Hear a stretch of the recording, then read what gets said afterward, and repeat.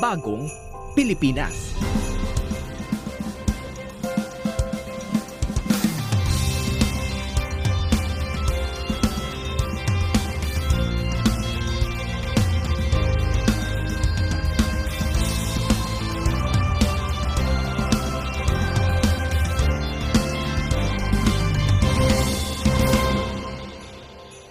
Higit sa kapanganakan ni Heso Kristo, ang Kapaskuhan ay sumisimbolo rin ng pagkakabuo ng sagradong pamilya. Ito rin ang panahon kung saan naging bahagi na ng selebrasyon ang pagtitipon-tipon ng pamilyang Pilipino. Kaya naman, hindi nakakapagtaka na marami sa mga kababayan natin na overseas Filipino workers ang pinipilit na umuwi mula sa bansang kanilang pinagtatrabahuhan upang makapiling ang kanilang pamilya at mga mahal sa buhay. Galing po akong Hong Kong at tatlong taon na po ako hindi umuwi dahil sa COVID. Kasi po li- libre ng makabalik balik Pilipinas, Hong Kong. Tapos siyempre mas pinili ko yung Pasko bilang Pilipino. Napakahalaga ng Pasko sa atin na makasama yung mga pamilya natin. Iba yung Pasko ng Pilipino. Dito hindi eh, ramdam mo talaga eh. Kahit walang handa, basta makasama mo yung pamilya mo, okay ka na. I mean, like, we have a lot of family here, and I think Christmas in the Philippines is a lot better. It's more festive. So, and the weather, I think, is really nice, so that's fun. Of course, I mean, I haven't seen them in years, so it'll be fun to meet up with them again. Batay sa datos ng Overseas Workers Welfare Administration o OWA, inaasahan ang pagdagsa ng hindi bababa sa 10,000 OFWs na uuwi ngayong Kapaskuhan at para salubungin ang bagong taon. Alam mo naman Pilipino, very emotional tayo, no? And eh, nagdodoble, nagtitriple pa yan dahil nasa ibang bansa ka. At ah, hindi naman eksakto madali ang trabaho. Iba rin ang environment. So, mas nagiging masentimiento ka dahil na- nakikita mo sa Facebook kung paano mag-celebrate ang Pasko rito. And, ah, you know, that, that brings you to heightened emotions. Puspusan na rin ang ugnayan ng Department of Migrant Workers at Department of Tourism para paghandaan ang pagdagsa ng ating mga OFWs and returning Filipinos. The Bisita Be My Guest program is the story of love that I introduced earlier.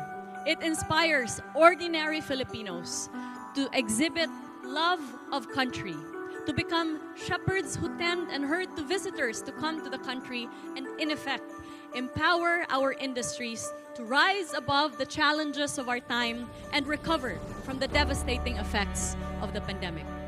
Actually, what we're doing is the same thing but in reverse. Sila naman yung magdadala dito ng their friends, their loved ones, um, including co-workers and even employers.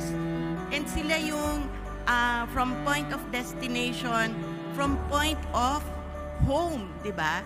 It's really creating moments. And there's no better sector and people uh, to do that with than our overseas Filipino workers. Sobrang proud maging Pilipino. Sobrang miss lahat ng sa Pilipinas. At sobrang pagmamahal sa bayan at sa bandila.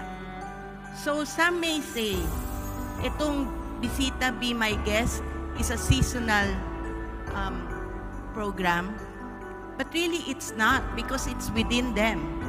We just need to help them get as many people to come to the Philippines.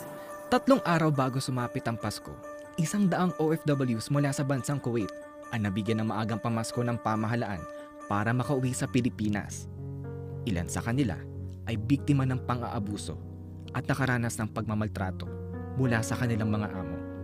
Masaya po. Uh, yung sabi ko, hindi ako magko-complain ka, Baba, kahit sinaktan ako ni Baba, kahit tinadyakan ako ni Baba sa harap. Tumiyaya ako. Sabi ko, hindi ako magko-complain, basta makauwi lang ako. Hindi na ako, hindi ako mag, ano, hindi na ako mag-a-apply. Bahala na, Ba- sabi ng anak ko, mauwi ka na lang kahit walang pera, kahit eh, ano, buhay naman, mabubuhay naman tayo dito eh. sobrang happy. Talagang sabi ko sa, sa doon tapos sa shelter, talagang sisigaw ako, yayakapin ko yung upuan. tapos makasakay na ako ng aeroplano. It means free na ako. Grabe, sobrang malaking tulong. Kasi nga, in-expect mo na katulad ko, walang, walang dala kahit ano, tapos may binigay na ganito. Sobrang ano na to, sobrang laking tulong na. Sobrang laking tulong na. Yung parang, sabi ko, mag-for good na ako may, may mga, mga programa sila na pwede kang mag-business ng ganyan. Yung bahay ko, pwede kong gawa ng tindahan. Basta ayaw ko nang mag-alis. Mahal namin Pangulong Marcos. Maraming maraming salamat po sa malaking tulong sa mga OFW po na lalo na sa amin na kailangan kailangan namin ng tulong na makauwi po. Kasi nga, eh, doon sa, kung baga katulad ko ng mga tinte, hirap po kaming makauwi. For eight years, kasama ko ng mga anak ko sa Pasko. Thank you. Hindi biro ang sakripisyo ng ating mga OFWs, lalo na't kaakibat na ng kanilang propesyon at trabaho ang mawalay sa kanika nilang pamilya at mga mahal sa buhay. pagiging malayo sa ah, family. But since ang aim is yung tumulong sa family, yon nagsusumikap. Really, eh, you know, eh, it's our heart is sa atin talagang country.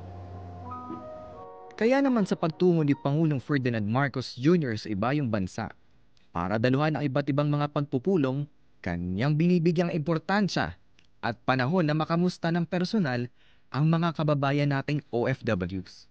ay siyempre lahat ng mga meeting ko napaka-importante at kailangan talagang puntahan. At makipag-usap na ng masinsinan sa itong ating mga kaibigan na galing sa iba't ibang bansa. Ngunit sa lahat, ang pinakamasaya na aking pinupuntahan ay kayo, aking mga kababayan. Ay mabuti naman at makabati lang naman kami. At babatiin namin kayo sa lahat ng inyong ginagawa na itinutulong ang Pilipinas. At bukod pa ron ay kayo ay ang nagpapatining na at nagpapaganda ng reputasyon ng Pilipino, ng Pilipinas dahil sa inyong magandang trabaho. Kinahahangaan kayo ng mga lokal. Lahat ng mga katrabaho ninyo, lahat ng mga nakilala ninyo, sinasabi lahat, ang galing talaga ng Pilipino. Kailangan kayong pasalamatan dahil ito ay galing sa inyong pagka-professional, sa inyong pagka-mabait, pagka-malasakit, at lahat ng katangiang Pilipino na ipinapakita natin sa inyong mga kasama. Kaya't muli, magpapasalamat po sa lahat ng inyong ginagawa para sa Pilipinas. Matapos ang dalawang taon na lockdown dahil sa pandemya, muling bumabalik ang dating ganda at sigla ng Paskong Pinoy. Pero higit sa mga palamuti at mga nakasanayang dekorasyon, ang tunay na diwa ng Pasko ay dama sa ating pakikipagkapwa-tao. Sa pagtutulungan, sa pag-asang hatid natin sa bawat isa. Sa pagmamahala, hindi lamang sa ating pamilya, pati na sa ating mga kababayan at sa ating bansa. Dahil ito ang Paskong Pinoy para sa bagong Pilipinas.